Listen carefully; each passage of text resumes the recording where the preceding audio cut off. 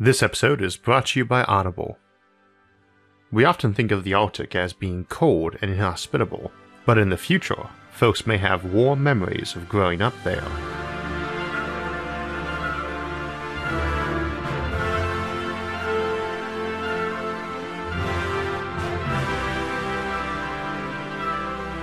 Today we will be looking at colonizing our polar and tundra regions, borrowing from some of the techniques we discussed for colonizing icy planets and moons. In many ways, the Arctic is the final frontier for humanity. Nobody reached either the North or South Pole until the 20th century, and permanent outposts at either took a good deal longer. However, living in the frozen wastes themselves is hardly new. Our ancestors often went far north hunting, and of course, something has to live there to be hunted. It's hard to live up there, but many species have adapted to do so. Today, we want to look at both how we could adapt to live there, and how we could adapt the Arctic to be more livable, and a bit of an in between. When we talk about other planets, we often distinguish colonizing methods between terraforming, making a planet more Earth like, and bioforming, making species able to live on a planet as is. But in all probability, you'd often do a mix of both, and that's likely to be true of the Arctic too. There's a few ways you can approach this. You can enhance the Arctic while keeping it essentially the same ecologically, or you can alter its climate and ecology to match more temperate regions. It depends on your goal. Last time we talked about the deserts, whose oases harbor lots of life, and it's reasonable to assume we can make similar setups in the tundra. For instance, we might enclose a sizable chunk of land with a dome and heat and light it to provide food, akin to an oasis in a desert or a clearing in a forest. Alternatively, you can blast whole areas with orbital mirrors so it gives the same kind of lighting as the temperate regions. Which approach you take depends, again, on your goals and, of course, your available technology. The Arctic is also a big and non homogeneous area with many different climates and environments already. And we don't have just one, there's the Arctic and the Antarctic, meaning near the bear and anti bear land, while actually referring to the constellations, not the presence of polar bears, it gives you a good idea that they have very different environments. The Arctic has many ice buried islands, but the Antarctic is an entire continent, and you'd want to take different approaches to each of them. You've got different motives for colonization too. The Antarctic is essentially a buried treasure with vast mineral resources, while the Arctic is more valuable for its oceanic and subterranean resources. These areas are also potential farmland, at least in marginal regions. They are cold and the ground is frozen in permafrost, and they don't get much light, but there is enough light if you can keep them warm. In many cases, you need no active heating, just unfreezing the large reserves of greenhouse gases in the permafrost could heat up a domed over farm on its own. That only works on the edges though, as further in we need to actively heat and illuminate the enclosure. Some ecosystems don't benefit from being warmed either. A lot of oceanic ecosystems rely on krill and would break down if you warm the Arctic waters too much. That seems counterintuitive, as warmer is generally better for life. Warming waters would cause filter feeders such as krill to become more active, resulting in increased feeding on phytoplankton. However, since the amount of light hitting the ocean would remain the same, phytoplankton populations wouldn't be able to grow at comparable rates. This would result in a net depression of the total number of krill that could be supported, which could impact the rest of the food chain, causing a drop in the total biomass in the ocean. Additionally, in colder places, meltwater helps lift nutrients to those phytoplankton, who need both sunlight and nutrients, which are otherwise rarely mixed together in deeper seas. You could likely replace or tinker with a cold dependent ecosystem to get one that was heavier in biomass, but it's another example of unintended consequences of messing with complex dynamic systems. Warming up the cold regions of the ocean can result in them becoming barren. We have another issue with warming these regions up, and that's the ice sitting there. There is a lot of ice up there, and while ice floating on water can be melted without changing its volume all that much, ice on land is much more complex. Melt all the ice on land to get more land, and you flood a lot of other existing and valuable real estate, not to mention the ecological issues that would occur. I do want to take a moment to clarify that something I've noticed with a lot of debates on climate change is that there is often confusion about melting ice raising water levels.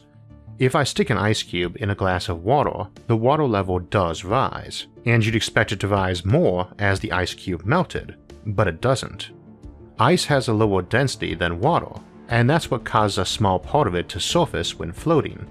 A quick caveat though Ice is fresh water, the seas are salt water and thus slightly more dense, so when ice melts in them, you do get a slight net volume increase. It's not very large, but it's not zero either. The actual concern, of course, is about ice on land, rather than sea ice, as when it melts, it won't have a net zero effect, and there's also a lot more of it. Floating Arctic ice is usually not very thick at a few meters deep, while the ice depth on Antarctica is a few kilometers. That's a lot more ice, and thus a lot more water. And of course, that requires a caveat as well, because continents float too. We all float on a vast sea of magma, and if you pile a lot of mass on the mantle, it pushes down on it. Remove it, and it will rise, though this rise is more like a cushion or mattress, slowly returning to normal after someone stands up from sitting on it. Indeed, the Arctic region is rising about a centimeter per year as they rebound from the Ice Age.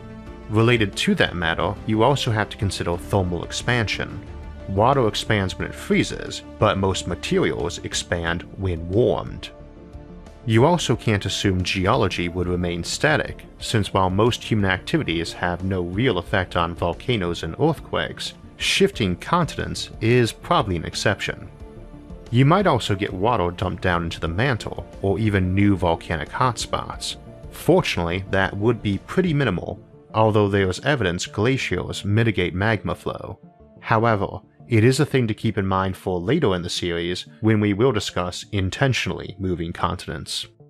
It's also why we always say, when it comes to terraforming other planets, by the time you're done, the place looks nothing like it used to, you're not just spray painting some green and blue on a planet. Needless to say, any sort of precision modeling of this is tricky at best, especially since it depends a lot on mantle viscosity and composition, and we are not too sure of that.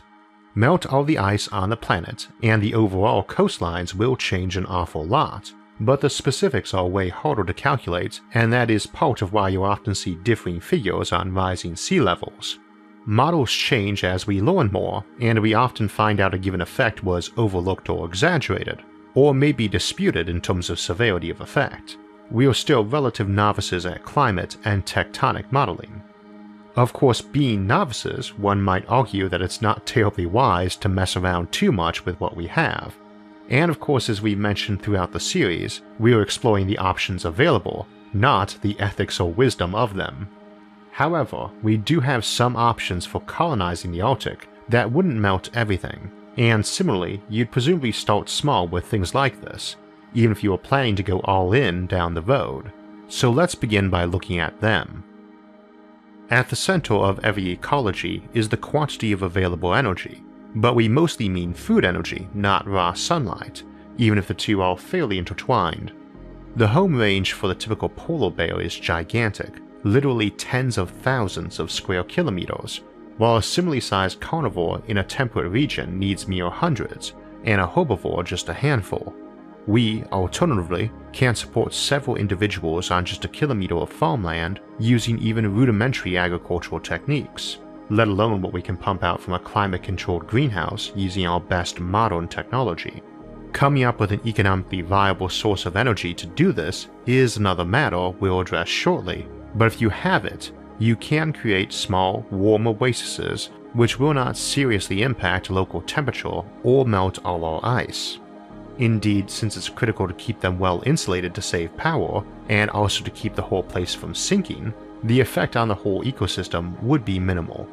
Sinking is an issue when building Arctic outposts.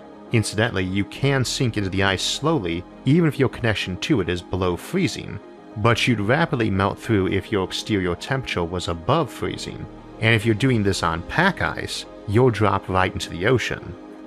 A quick note on ice.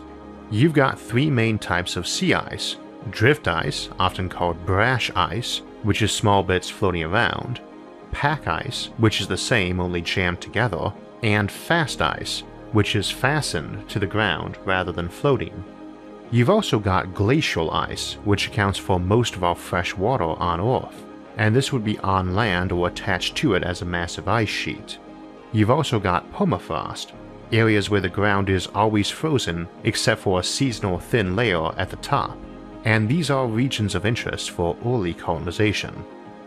For those warm oases, if you've got the energy and it's for people, you're fine as is. If it's intended to bolster local wildlife by increasing the food supply, things are a bit more complex. They need to be able to get in and out of those enclosures, and they also have to be focused on growing food the indigenous species can eat, and which won't represent an invasive species. Entry is kind of tricky since sticking holes in something you are trying to insulate tends to be counterproductive, and tunnels will rapidly become hunting bottlenecks. We can also use a lot of tricks we've developed over the years for houses or grocery store freezers or doorways, like air curtains, to help keep the heat in. But you still have that bottleneck issue, and end up with a polar bear camping in your entry tunnels. There's ways around this, and you could also make the whole thing basically a ship, so that melting through the ice wasn't a problem, but you might still prefer some approach like having drones distribute that food over a wider range. If you've just got a few such places, they'd be nice for tourism since they attract the wildlife, and endless empty ice is much more boring to look at, but if you're making a lot of these places, you might prefer they be almost entirely automated, since not many folks would want to live there anyway. You might also go that anthropic ecology route we've mentioned a month back in the episode Environments of Space Habitats, where you treat the local flora and fauna to mesh better with an ecosystem that's essentially man made and human specific, akin to urban ecosystems, but a bit more deliberate. There we use the example of crows or squirrels retrieving litter and tuning in at depots in exchange for food, thus allowing a higher net density of wildlife by supplementing their food supply while also getting some work done for us. These don't have to be sitting on land either, again you could make one a ship, or attach it under a chunk of floating ice. As an example, a big floating lens in the water would concentrate some light in the volume below it, creating a little boost in the local temperature and light availability. This is similar to the domes we discussed in Colonizing series, where you're just focusing the available light to concentrate it rather than adding energy. This is a decent approach if you just want small areas or pathways to be warm too. An often mentioned silver lining of the ice caps receding is that you could sail freighters or fishing boats along the northern coast of Eurasia. However, by just warming a narrow canal through the ice, you'd achieve much of the benefit without the major climatic impacts. This concentrated light method only works for part of the year. Both the days and the light intensity get very short as you go further north, and if you get far enough, end entirely during a dark season. You can't concentrate nothing. However, while the permafrost may stay frozen year round in such places, if you go deep enough, things will warm up, and you can use geothermal energy as your power source by drilling down, providing plenty of warmth and an electricity supply. There's not enough to thaw the whole place, but you could have large pylons bringing heat up to oases, or string them in a line along the coast to keep fast ice from forming on those and keep your sea lane clear. Nor are the depths of the Earth the only place that's got a surplus of heat, though subterranean colonies up north is an option we'll explore later in the series. Last time we mentioned you could bring fresh water down to deserts by towing icebergs, but this need not be a one way trip. You could build huge pipelines to act like radiators, bringing fresh water to hot deserts and warm salt water back up to the Arctic. We talked about doing something similar around the polar regions of Mercury to deal with its incredibly long day night cycle and wide peak hot and cold temperatures. We've also talked about how to deal with the long day and night cycles on the moon, or on the genuinely dark sides of tidally locked planets. The simplest answer would tend to be orbital mirrors. This is something we discussed before and was even in the headlines recently as a suggested way of replacing streetlights. You hang a mirror overhead and bounce light down on a city. That's a pretty bad idea itself, since street lighting is about safety, not agriculture or temperature, so it being blocked out whenever it's cloudy is a serious issue.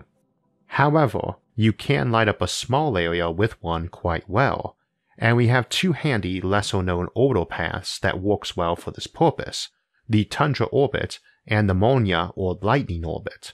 They are perfect for adding sunlight to high latitudes, and can also be configured to block sunlight at lower latitudes if you want to balance out how much light you're adding to the planet. Both orbits are eccentric elliptical ones that are angled well up above or below the equator, but the Tundra orbit is a bit less eccentric and geosynchronous, though not geostationary. It stays over the same general longitude of the Earth as it rotates, but moves north and south to describe a very lopsided figure 8. This lets it do something called apogee dwell, where it spends a much larger portion of its orbital period over an area. As you may recall, elliptical orbits do not have the orbiting object always moving at the same speed. When they are furthest away, they move slowest. We call that furthest place the apogee for Earth and aphelion for the Sun. As it falls back down on its orbital path, getting closer, it speeds up until it reaches its closest approach to the object it orbits, the perigee for Earth or perihelion for the Sun. Then it begins to slow as it climbs back up and around to apogee again. This highly cocked orbit provides a better angle at high latitudes, much the same as the Sun in the summer or equatorial regions. The Molniya orbit differs in that it orbits every 12 hours, and has a long apogee dwell over some high latitudes. This is a very good way to shine light on places with very short days, or during their no light period. Of course, our space based warming method doesn't have to be done entirely with light. As we discussed with power satellites, beaming down microwaves lets you circumvent a lot of atmospheric interference, and it's fairly easy to convert that into heat energy. If you are driving most of your electricity from power satellites, you don't have to worry so much about greenhouse gas emissions either, and can even begin removing them. Plus, warming areas gives you something to do with power from such satellites if you have peak power usage times that require surplus capacity. That of course is one of the nice things about fission, fusion, and renewables too. With zero emissions energy, you can suck up carbon dioxide and water and convert them into hydrocarbons, making your plastics and gasoline carbon neutral. If one has access to significant stockpiles of fissionable materials, you do have another interesting option that is also handy for cold asteroids that we mostly skimmed over in colonizing series. Radioisotope thermoelectric generators are relatively easy to make, maintenance free, and long lasting, but their efficiency is low, so most of the energy is lost as heat. Needless to say, lost as heat is a pretty relative term in the frozen Arctic.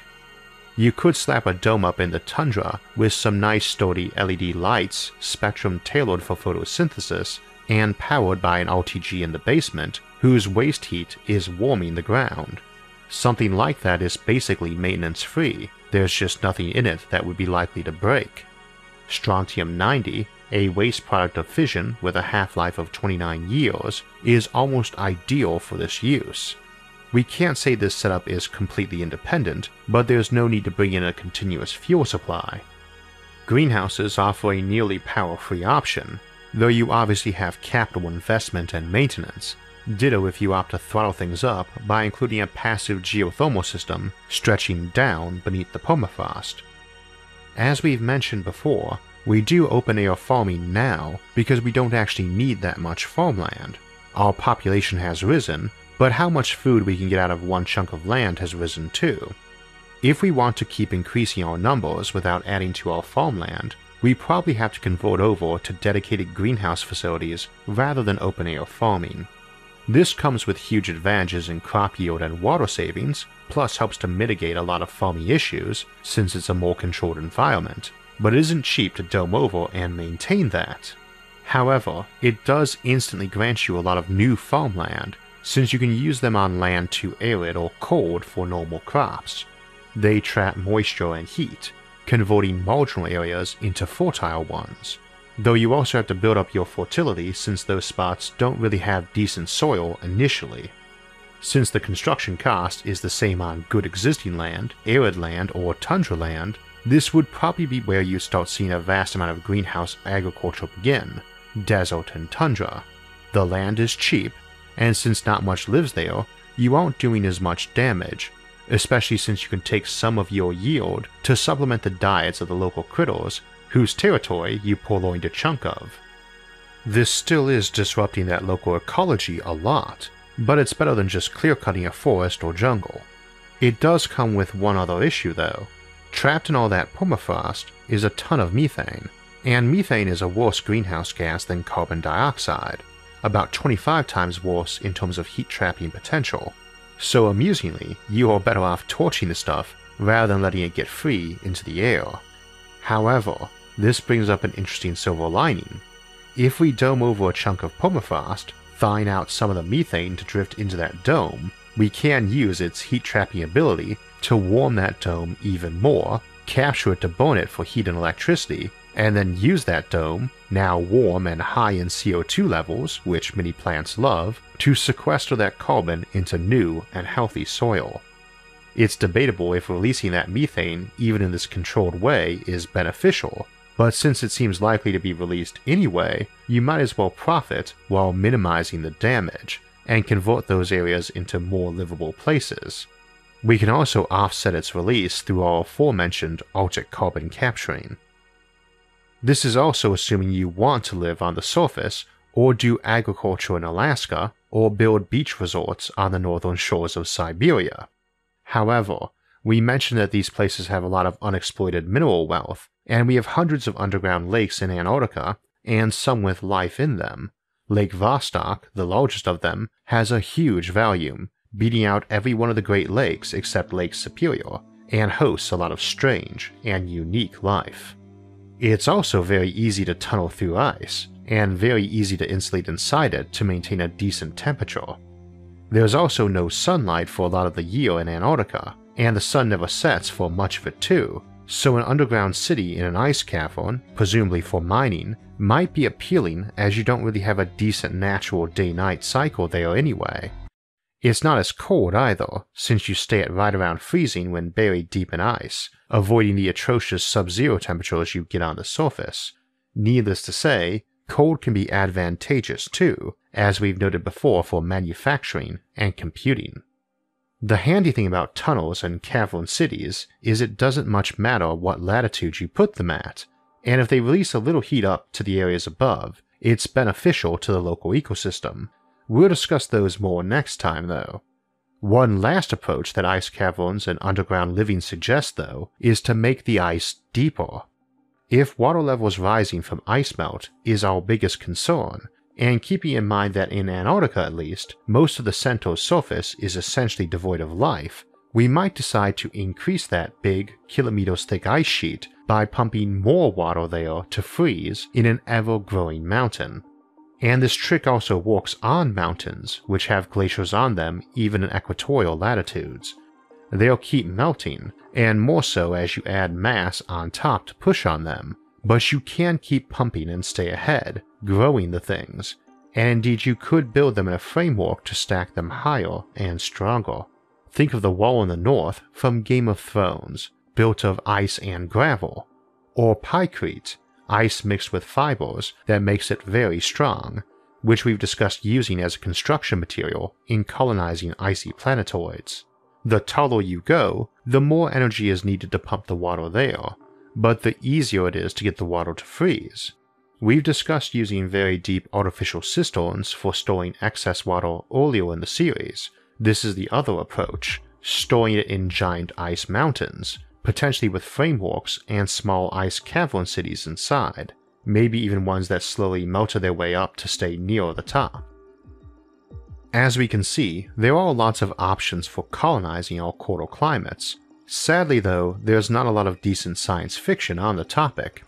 It seems like authors tend to use the polar regions as a backdrop, a cold and hostile place that intensifies the danger the protagonist is in, this often makes for some great fiction. Indeed, two of our books of the month for this year were set in Antarctica H.P. Lovecraft's At the Mountains of Madness and John W. Campbell's Who Goes There, aka The Thing. I wanted something a bit more upbeat for the end of the year, and with us recently looking at flat Earths and discussing Santa Claus machines next week, it seems a great time to finally give the book of the month to Sir Terry Pratchett, author of the amazing Discworld series, and his novel The Hogfather, a fun winter wonderland tale of the Discworld's parallel for Santa Claus, the Hogfather, going missing and the Grim Reaper having to take his place. Discworld is a fantasy parody series covering around 40 books, so you'll have no shortage of extra reading if you enjoy the book, and The Hogfather is one of my personal favorites. Sky One also made a movie for it, and there's been a few other TV and film creations from the series. If you'd like to grab a free copy of The Hogfather, just use my link in the episode's description, audible.com slash Isaac, or text Isaac to 500 500 to get a free book and a 30-day free trial. I have literally never met anyone who didn't enjoy the Discworld series once they got into it, but if you should happen to be a forced, you can exchange it for another book free of charge. So, speaking of Santa, our last episode before he sets off with his reindeer will be on Santa Claus and cornucopia machines, the catch all terms for devices that can make just about anything, like the replicators from Star Trek.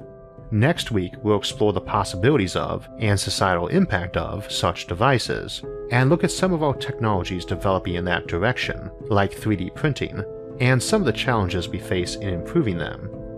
We will then close out the fourth year here on SFIA on December 27th with a look at colonizing the stars with technologies like that, and the seed and data ships concepts we've mentioned as alternatives to generation ships in Seeding the Stars. For alerts when those and other episodes come out, make sure to subscribe to the channel and hit the notifications bell. And if you enjoyed this episode, hit the like button and share it with others. Until next time, thanks for watching and have a great week.